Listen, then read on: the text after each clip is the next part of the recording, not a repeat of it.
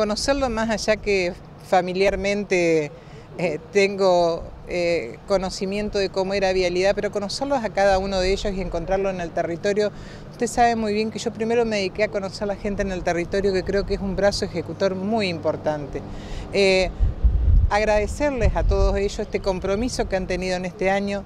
De mi parte, yo tengo que darle los elementos para que sigan trabajando, sacarle esta este fantasma que en estos días anda dando vuelta, que es eh, el tema de los consorcios o de una posible privatización, el gobernador fuertemente lo ha dicho, que no se va a tocar ningún trabajador, que no se va a bajar ningún sueldo, pero tenemos que darle las herramientas para que ellos estén a la altura de las circunstancias. Durante mucho tiempo han estado...